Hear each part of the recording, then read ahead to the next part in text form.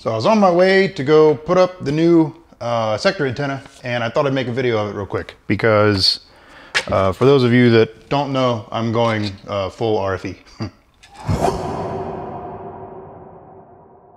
this has to be assembled. So it's actually kind of cool. Check this out. The top and the sides are all labeled. So you can do, I don't know what this little, there's like a little trapdoor thing on here. I don't know what the hell that is. Uh, oh. yeah, I don't know. I'll have to mess with that in a second because they all, they all jingle. There's markings on the top and on the sides. So you can apparently mount this uh, multiple ways with a 30 degree uh, sector antenna. If you mount it on the pole like this, where this is the top, or you can do like this, where this is the top, and you get 20 degree. So that's pretty cool, actually. It's a versatile little thing. Yeah, you can see what's in it. Nothing.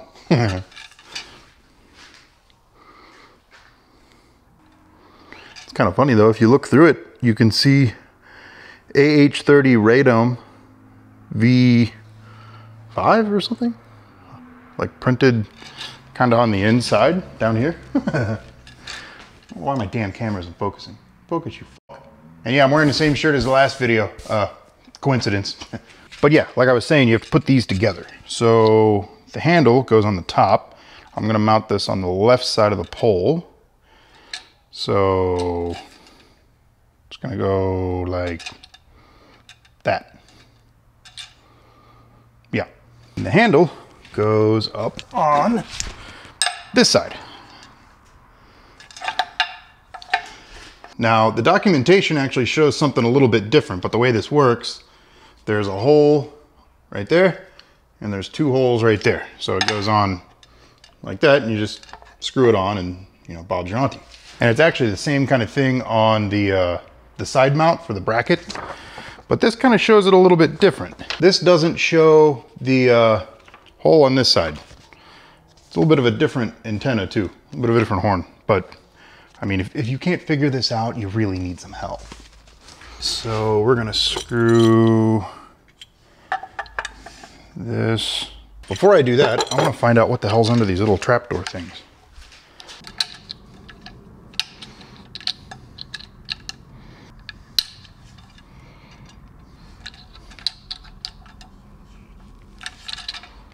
Hmm. I don't know. Well, it definitely doesn't want to come out. Whatever the hell it is.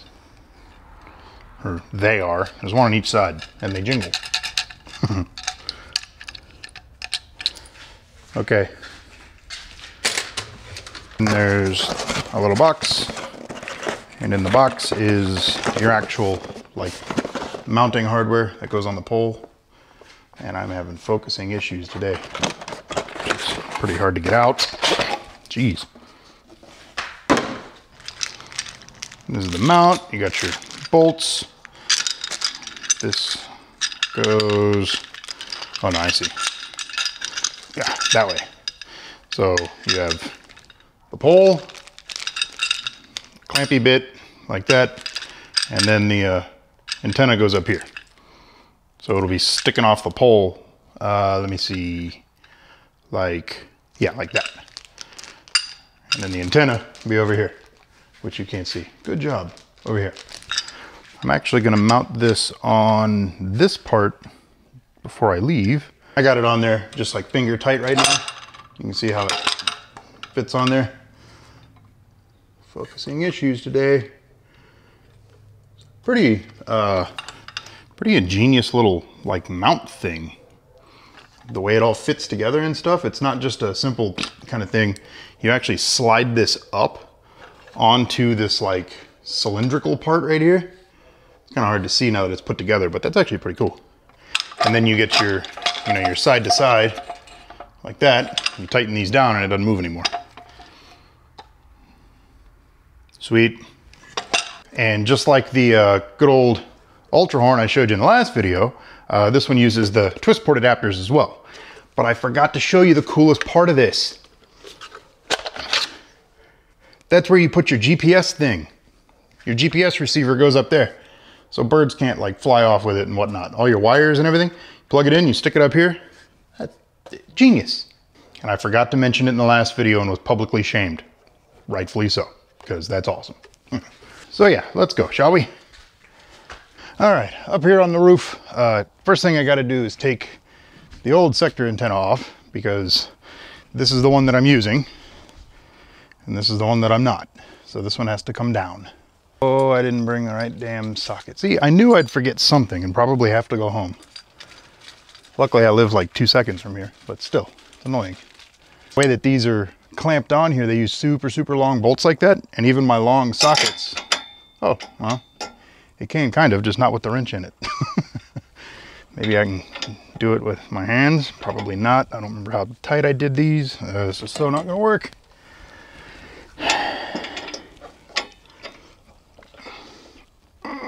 No.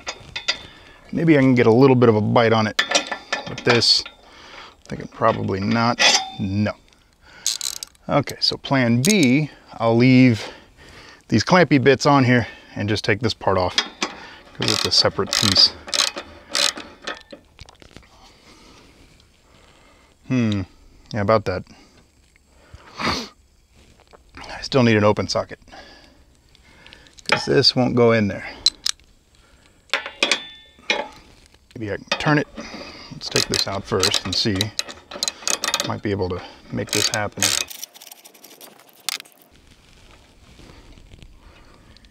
It is looking like I cranked that son of a bitch down too. So, gotta run back to the house. I knew that would happen. I knew it would. That's why you always bring more tools than you think you'll need. Always. Good lesson to learn, and uh, one I apparently haven't yet, so I shall return. A few moments later. Alrighty. Now, ready to roll. Getting these damn things off. Come on. Yeah, I crank these shits down pretty damn hard. My God. They definitely weren't gonna move. Ever. You stay there for a minute, actually. So I can get the bottom undone. Ooh. so technically, I think the right way to do this would be to take this part off first, and then take these off, but I never do things the right way. You should know that by now.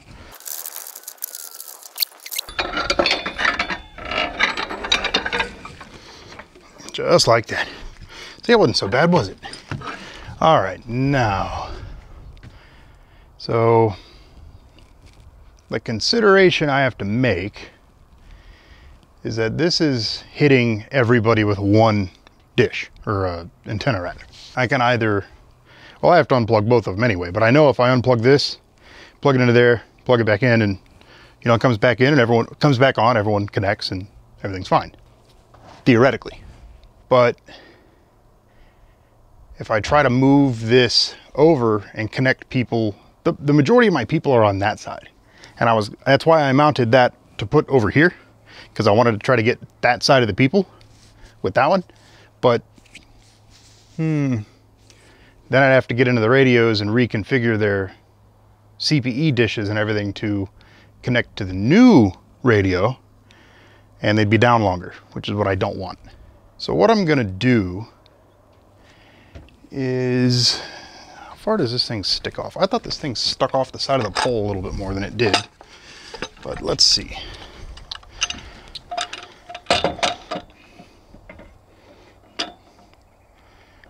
Oh, yeah. Yeah, that worked pretty good actually. I'm gonna do an overlap thing. That way I can pick and choose which CPEs I want to take off that radio and put it on the new radio from home without having to, you know, push my luck, without risking taking them off uh, completely. Because if it overlaps, if I have both radios kind of pointed in the same spot, I can pick and choose people off of uh, that one, put it on the new one, and theoretically they should be connected to one or the other either way. again, that's theoretically. I don't know. Either way, this should go up there just fine the way that it is. Um, yeah, I'm going to leave that right where it is. I actually turned it a little bit yesterday because I was going to put the new radio on that one, which was up here. But the way they were on the pole and how big these are, it wasn't working. So I made some phone calls, got hooked up with the, the RFE goodness. Now, I think technically, well, I am going to do this a little differently actually because I think theoretically you're supposed to mount this on the pole first. The the part that goes on the pole is supposed to go on the pole before you put the freaking radio on it, now that I think about it, but what the hell's the little tiny screw for? So I'm gonna swap that over to the other side. And uh, before I do that, I'm gonna put it on the damn pole. So I don't have to monkey around with it anymore. Basically, I'm gonna take it all apart. Actually, no, I'm not gonna do that. I am gonna put it on the left side of the pole because it sticks out it sticks out far enough. I can actually angle it around either side. It doesn't really matter. So I'm just going to stick with how I have it it. Should work fine. But I did take this off to mount it first like I'm supposed to. I'm doing things like I'm supposed to for once. Aren't you guys proud? So yeah sure I don't screw this up these bolts are super long for this kind of freaking mast that I have. I have a little tiny skinny mast compared to what this thing is built to handle. Uh, yeah. Hmm. Uh, hmm. Let me show you guys the issue that I'm running into. so the bolts go all the way through here so that's no big deal. You can screw them in all the way down to here, but the problem is this hits that. so we're gonna have to get a little janktastic for the moment. Um, that means wedging some random piece of metal or something in there.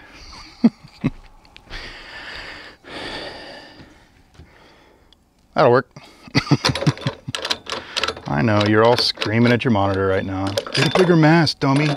Well, I don't have a bigger mast, and I ain't coming back out here to do this shit, so this is what's happening. Kaboom. oh, yeah. Oh, like a glove. Oh my God. I need washers. Let me show you what it's doing now as it goes all the way down to there. Why? Hmm. Stroke of brilliance. Are you ready?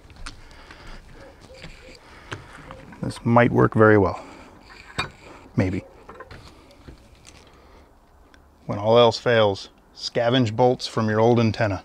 I think these are the same size. So I might be able to just use these instead. Get rid of this altogether. Took a different piece from the radio. I don't need that one, or the antenna. But if this fits on there, or if the threads are the same, which looks the same, um, I'll be able to just use these and everything will be good to go. If not, I'll have to take these out and use the bolts from the old antenna, which still will work, but are you gonna work for me? Mm -hmm. Oh, yes. Good. If I have one criticism of any uh, RFE gear so far, it's uh, these bolts. Pretty small criticism, because you can buy bolts anywhere. Or find them anywhere. Exhibit A, right? So what I did was, these are the bolts that came with it. Are you gonna focus for me? Yeah. These are the ones that came with it. You can see they're only threaded about halfway. Well, I took the bolts out of the uh, Ubiquiti radio, or antenna rather. Whole lot more threads, so this should work fine. Oh, another problem. Hmm. So on this side, it doesn't matter if the bolt sticks through because there's nothing here. On this side, um, yeah. So, hmm, something up here eating me alive. Son of a bitch. Fucking little bugs.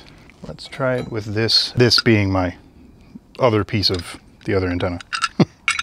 See if that gives it the standoff that it needs. I don't really think it will, but we can find out. Yeah, there's no way that's gonna work. So, um, I have another idea. What I'm gonna do is take these out, take this apart, and these are just captive little square head nut things. They're hollow with this little plastic thing, but I noticed it's a square.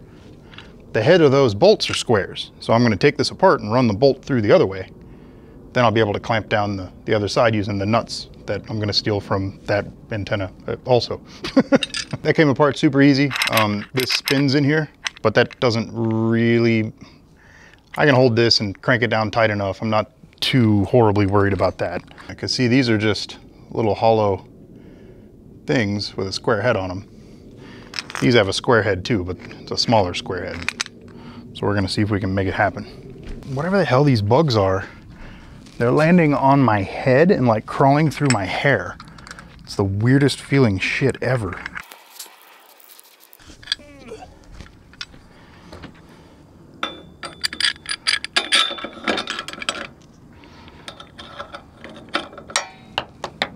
Well, that's down there now. Let's see something.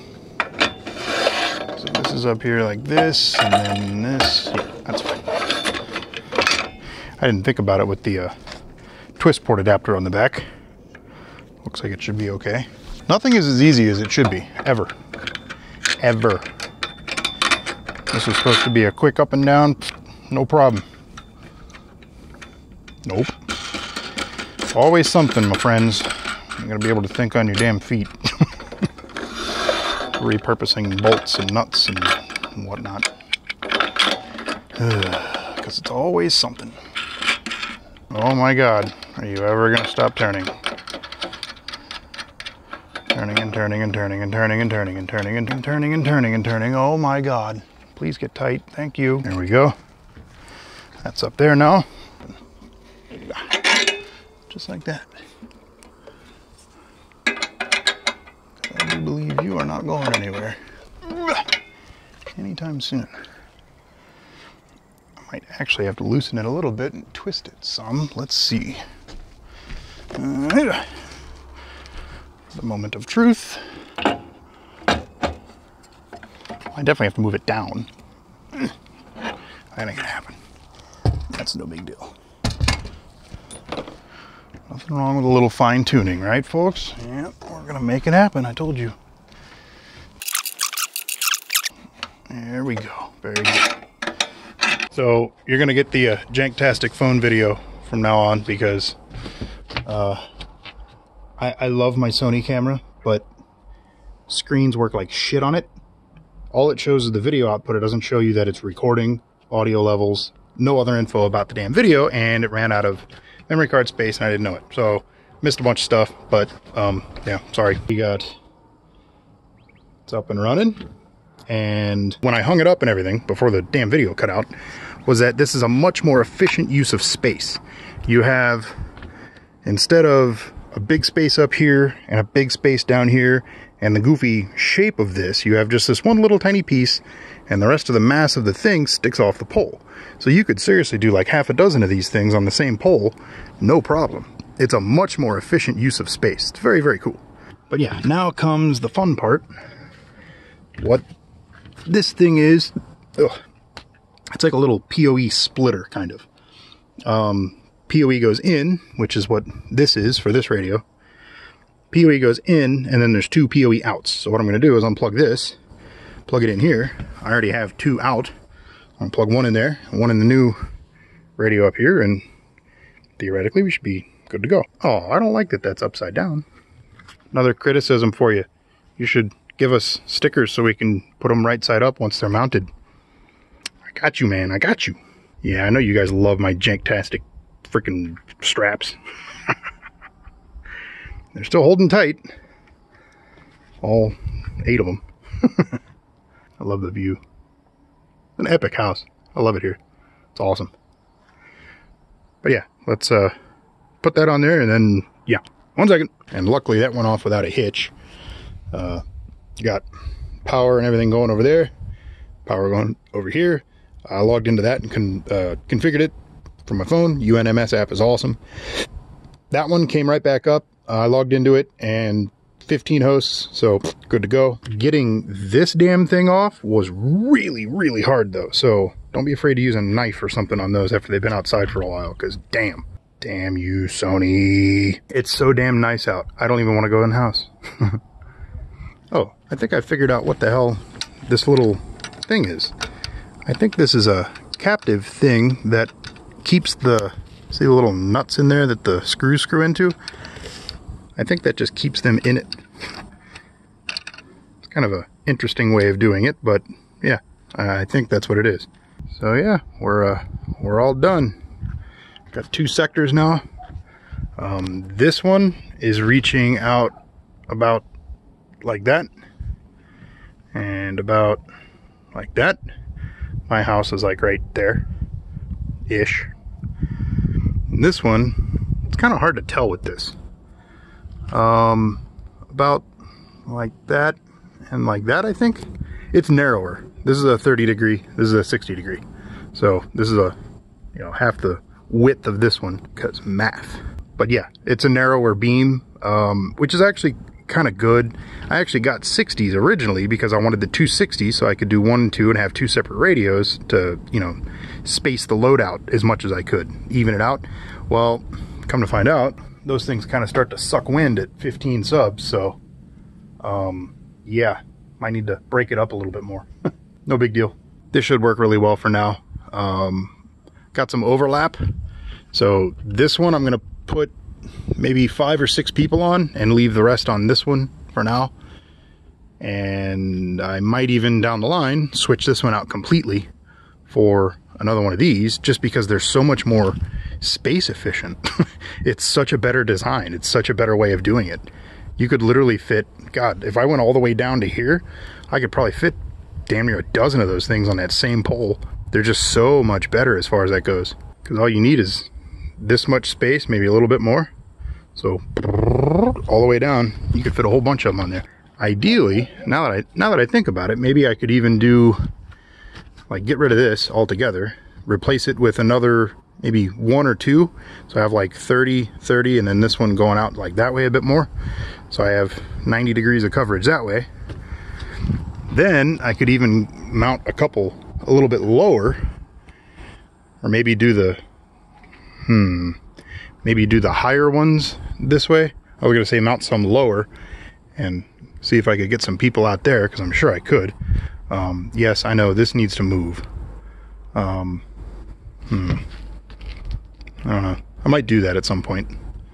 Not right now though, because I didn't think about it when I was setting all this stuff up. Surprise, surprise, right? But all my CPEs are pointed directly at the back of the backbone antenna. Oops. That thing gets a pretty good reception though now, as far as noise goes, where it's at. Uh, and with the Ultra Dish, it's going to be perfectly fine having all the CPEs pointed at it. I don't think it'll be a big issue at all. But yeah, time to go home. I'm hungry. I haven't eaten much today. So for now, be sure to like, share, and sub and all that happy noise. Bye-bye.